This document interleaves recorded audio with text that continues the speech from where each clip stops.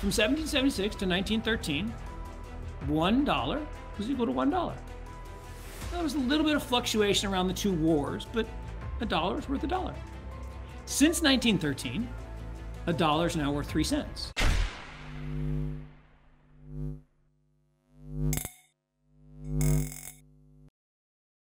Hey guys, welcome back to the channel. Today we have Chief Investment Advisor Mark Yusko discussing organizations that he says are actually worse than FTX. During the time when trust companies were vying to become the dominant financial institutions in the United States, JP Morgan and Rockefeller actually spread false rumors about the insolvency of the Knickerbocker Trust, leading to a bank run. In response, they pledged $25 million of their personal funds to prop up the banks and eventually devised the Aldrich Plan, which established a central bank with the power to create money outside of federal control. These are just a few of the actions that a group of influential individuals in the early 20th century were exposed for. Yusko also discusses Bitcoin and how these companies have affected the stock and crypto market today and what we can expect moving forward. Before we dive in, don't forget to hit the like button and subscribe to the channel if you enjoy the content we do here. Let's get right into the video. It was a sinister, and I, I use that term intentionally, a mm-hmm. sinister plot by a very small group of people. Um, basically, J.P. Morgan, John D. Rockefeller, uh, who was the son-in-law of Amory Aldrich, and Amory Aldrich was really the architect. In fact, there's another amazing book that no one's read.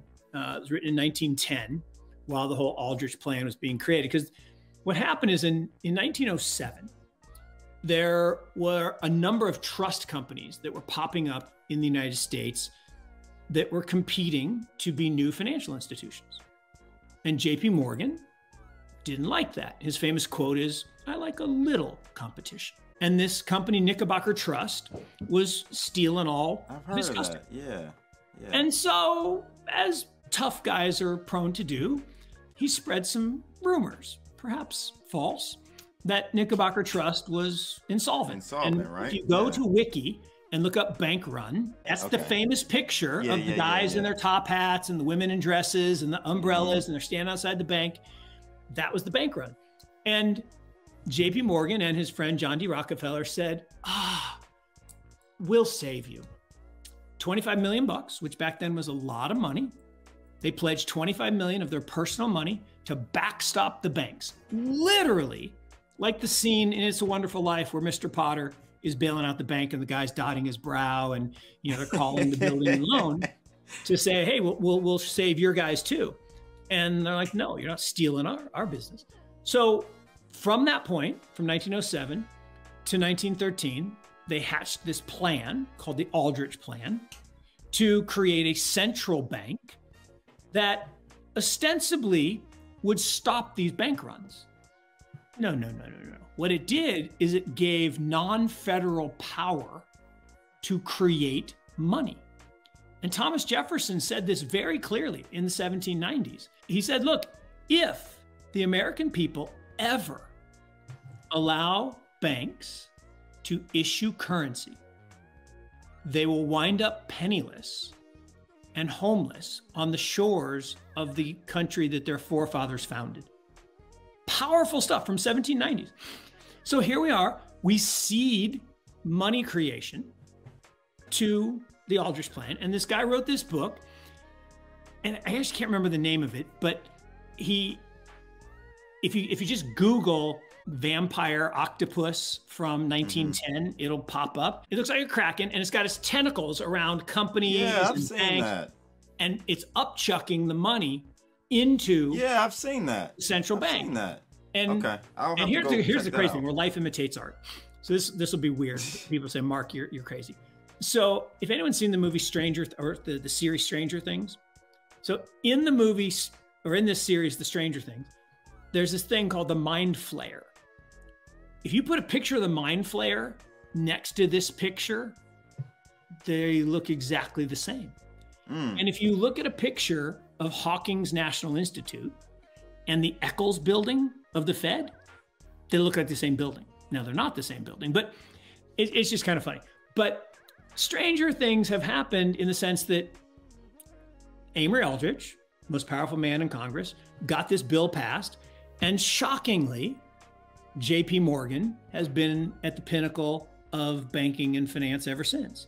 And now you got the president of JP Morgan on Bitcoin at Davos. Mark believes the emergence of Bitcoin may threaten the system and change the way we view money and value, similar to how the internet transformed media and commerce. The CEO of JP Morgan recently spoke out against Bitcoin at Davos, and Yusko says this only highlights the significance and potential impact of cryptocurrency on the financial world. Here's my point. Like, guys, flip it around. You can judge the quality of an idea by the quality of its detractors. If mm. no one cared about Bitcoin, it would be a bad idea. If right, ignorant right, people right. care didn't you know care, it'd be a bad right. idea.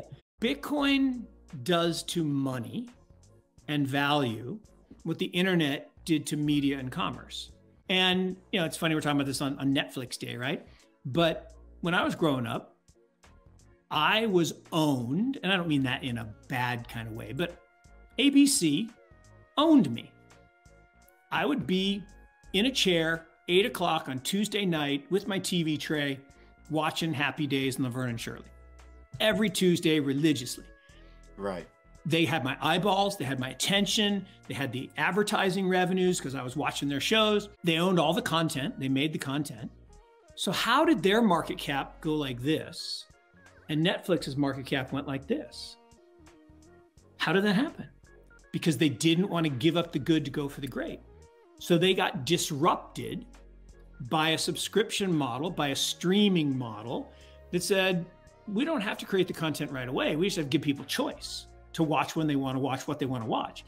Then we'll create the content and we'll lock the people in and we'll get all your market cap. And that's exactly what happened. Because here's what the banks do look, FTX, bad guy, gal, and I don't think it was them. They're not the masterminds of anything. It's somebody way above them. But bad people did bad things. They stole right. money to funnel right. into political candidates to curry favor and power.